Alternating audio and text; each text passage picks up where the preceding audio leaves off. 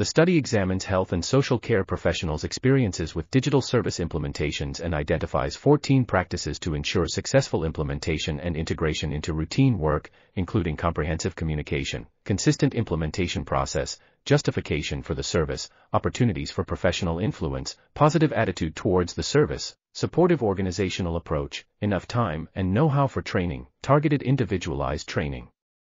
Usage monitoring, feedback opportunity, and support for professionals' work tasks. These findings can be useful for organizations and service providers in ensuring sustainable implementation of new digital services and smooth integration into routine work.